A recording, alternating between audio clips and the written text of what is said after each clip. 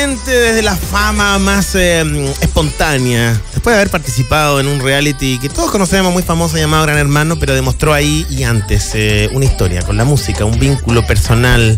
Alesia, aquí en Radio La Clave, bienvenida. Muchas gracias, ¿cómo estás? Bien, bien, aquí muy contento de poder entrevistarte y empezar a conversar y compartir ideas eh, sobre tu, tu dimensión musical quizás en algunos casos eh, ahora recién empezando a aflorar, pero eh, para el público, para ti me imagino que fue de toda la vida. Sí, sí, Eh, totalmente. Em, bueno, yo de chiquitita, sí, yo creo que en los festivales del cantar de mi colegio ahí yo siempre estuve presente y bueno, después partí en la pandemia por el lado influencer y ahí subía covers a TikTok, a Instagram y después de eso me contactaron para ir a The Voice. Así que eso también fue una experiencia bonita, de harto aprendizaje y luego ya más adelante participé en Gran Hermano Chile. Y en lo que tenemos en nuestro sello, lo que tiene que ver con eh, Ex, lo estamos escuchando, es, eh, digamos, el primer single eh, más eh, anclado a tu carrera eh, profesional con la música, ¿no? ¿Cómo te ha tomado este lanzamiento? Eh, bien, bien. Eh, bueno, primero sacamos con Américo quién, que es claro este featuring. Y con eso yo comencé, que fue una, una partida como fuerte, porque Intenso, ¿no? claro, como con un artista de ese nivel y yo, primera canción. Eh, y fue muy bonito porque aparte el Mingo es, es increíble como persona. eh, o sea, Además de eso, que todos sabemos que es un artista increíble, eh, reconocido internacionalmente, además es súper talentoso, eso es indiscutible. Eh, pero además yo conocí una parte ya más personal de él y fue 10 de 10 conmigo, o sea, me ayudó y siempre fue como eh, muy preocupado de, guiarme bien y de aconsejarme bien. Así que fue bonito y bueno, ahora ya por fin saqué mi primera canción como solista. Eh, y estoy empezando a encontrar mi estilo, que lo más probable es que sigamos por el camino del pop, pero con un poco así como dejos de, no sé, po, no sé si rock, pero tiene batería, guitarra, me gusta agregar eso. Y bueno, después también tengo unas baladas por ahí, pero más estilo como contemporáneo. No tanto la balada latina antigua, sino como tratar de hacer una balada como con también unos efectos más, más electrónicos, por decirlo así, como con detalle ahí en las voces. Oye, siempre es interesante para mí eh, hablar con músicos eh, que están, eh, artistas que también están en, en- en- el rango de eh, los 20, 20 añeros, que no están haciendo reggaetón, que también me imagino que les debe gustar, que lo deben bailar, me imagino que tú vas a fiesta y has decidido un camino que es... eh, menos popular en el sentido de que hoy está de moda el reggaetón eh, o la música urbana, como le llaman, y tú has decidido por el pop y con harta guitarra, con harta guitarra, así como que uno, mm, alguno pudiera eh, sentir referencias a Abril Lavín, ¿cierto? A Olivia Rodrigo. Eh, ¿Qué hay ahí? Cuéntame. Eh, bueno, yo igual consideré en algún minuto hacer urbano. Ah, ya, no estuvo descartado. Claro, no. ¿Y no está descartado para el futuro tampoco? Eh, la verdad es que prefiero seguir una línea del pop, además que siento que uno tiene que igual encontrar su estilo, pero igual obviamente uno puede ir variando de álbum a álbum, quizá. Eh, pero yo creo que aún me queda camino para encontrar mi estilo. Pero a mí siempre, de toda la vida, mi pasión ha sido el pop. Y por lo mismo que tú decías, por esta popularidad del urbano, en el fondo, especialmente en Chile, eh, tenía un poco esa duda. Yo, experiencia no tengo mucha en esto de, de una carrera musical, entonces me acuerdo cuando conocí a mi productor, eh, me dijo, ya cántame. Y ahí yo me la tuve que jugar Ya, ahí. pero con- espérate, fue como en seco, sin instrumentos, así como canta. No, canta, yo YouTube ahí, onda, así, en seco, Ya. claro. Y me acuerdo que le canté eh, Paramore, Avril Lavigne, eh, Olivia Rodrigo, Ajá. Miley Cyrus, eh, Lady Gaga, Ariana Grande, puro pop así como de la música que, que me gusta y que siento que son como desafíos para mí eh, a nivel vocal. Y, y me quedó así súper impresionada, me dijo, ya, ¿y qué quieres hacer? Y yo, urbano. Y me dijo, como, ya, pero ¿por qué? Y yo como, pucha, es que no sé si me vaya bien con otro estilo. Y me dijo como, no, o sea, primero tienes que sí o sí hacer lo que te gusta y ahí es cuando como que la gente aprecia tu trabajo. Entonces, eh, a, a pesar de que a mí me encanta el urbano también, Eso, me encanta bailarlo todo, pero ¿En qué momento sentiste eh, que, que sí tenía sentido no hacer lo que tu intuición te decía que tenías que hacer? Eh, en ese minuto, porque ahora quizás está más claro, ¿no? No sé, como que no sé, yo creo que es como porque todos mis, amigos de mi edad y todos escuchan mucho más urbano que otra cosa. Eh, para mí no es así, yo lo escucho más que nada en la fiesta y todo eso, pero cuando yo, no sé, voy en un viaje o estoy con audífonos, escucho pop, rock, eh, metálica eh, o también más chill, así, de, de todos los estilos un poco, pero mm, no sé, yo más que nada por mis pares quizás dije como Voy, a hacer, voy a hacer música urbana. Claro. Pero, eso, eso te hizo también reflexionar. Pero igual no quería hacer la música urbana como. Yo pensaba una música urbana más teeny, más como algo que, fuera más como con mi estilo, porque. Claro, claro, como, como Emilia Mernes, que es como pop, o sea, partió como medio urbano, pero después se fue al pop. Algo así pensaba yo.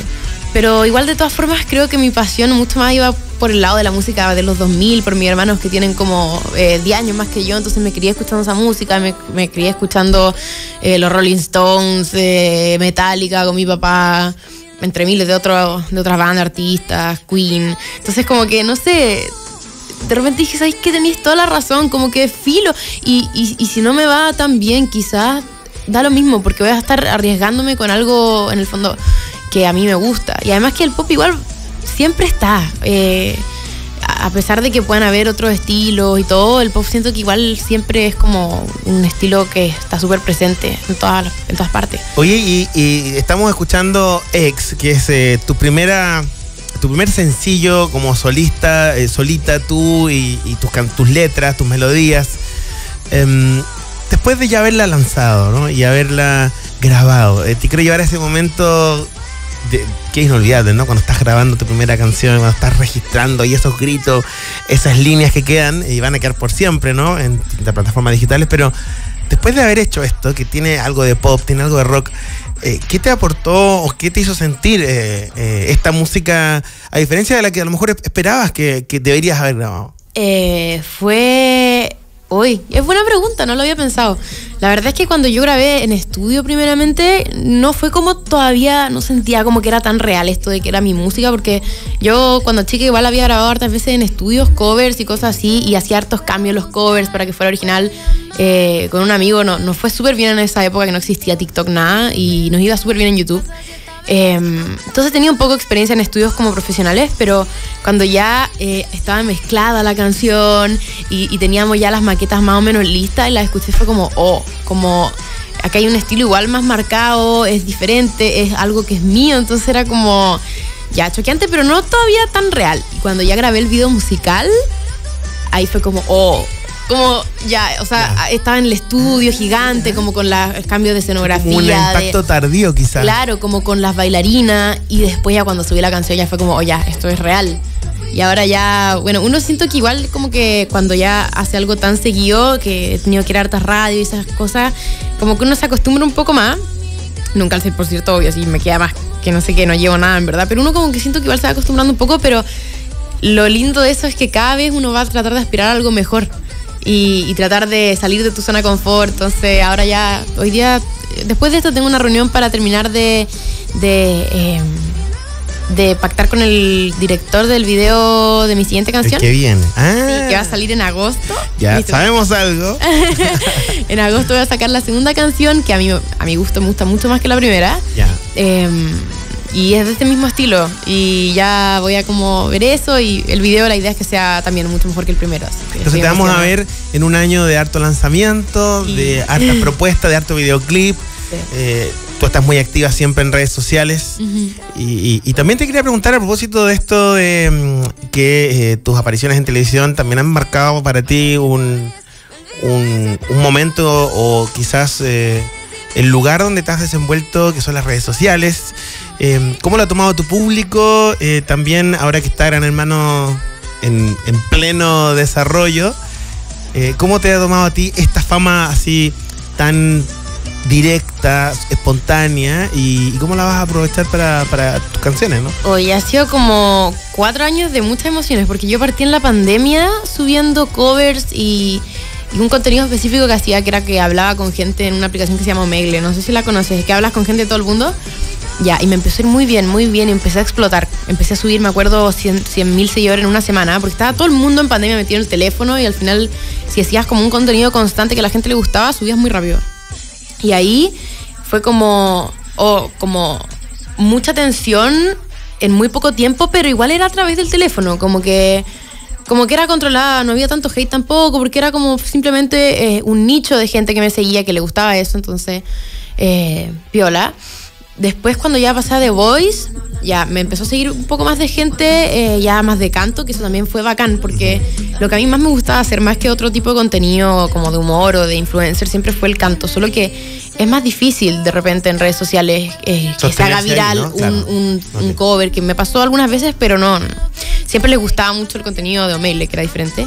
Y después ya en The Voice creció un poco, pero ya cuando entraron hermanos fue otro tipo de público. Sí, o pues.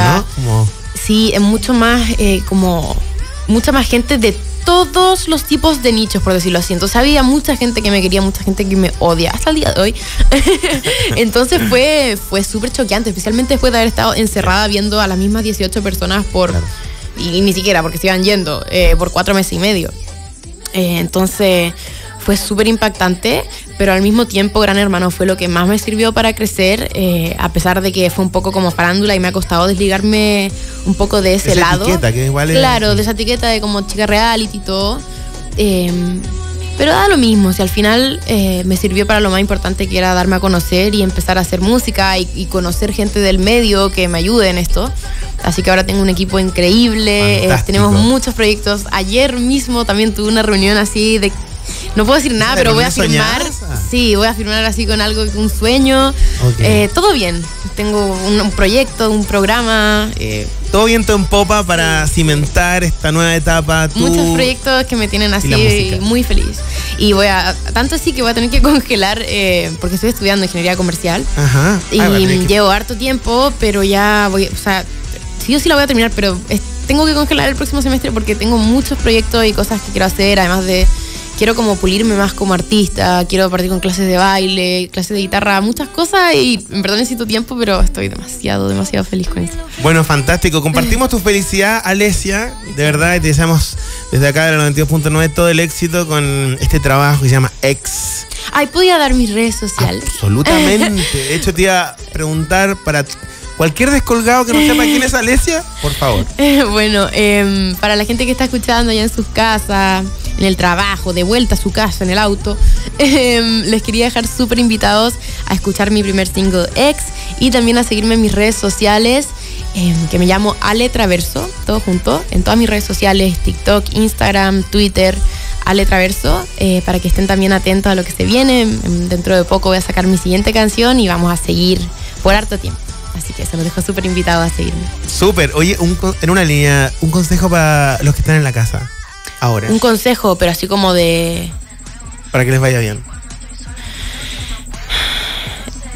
Sigan lo sus sueños, pero lo que hagan lo que realmente a ustedes les gusta y a pesar de que todo el mundo esté en su contra y todos te digan que no puedes o que eres mala para eso que te gusta, sigan, porque las cosas se dan a largo plazo, no son instantáneas, a pesar de que este mundo ahora sea todo tan instantáneo con las redes sociales, todo. Las cosas buenas no son instantáneas y hay que ser perseverante y trabajar por eso, a pesar de que todo esté en tu contra. Bien, sólida. Alesia. Listo para responder mucho texto. Está bien, está bien, ¿no? Increíble. Vayan a escuchar Ex en todas las plataformas digitales, eh, Ale Traverso, en todas las redes sociales. Alesia, tu proyecto musical éxito y que te vaya increíble. Esperamos noticias tuyas pronto. Chao. Bien, nosotros nos despedimos. Eh, ya nos tenemos que encontrar mañana, jueves. Sí, nos queda poquito para el fin de semana. Los dejamos en lo que continúa la programación de Radio La Clave. Y luego, más tardecito a las 7, Metrópolis, segundo tiempo. Que esté muy bien.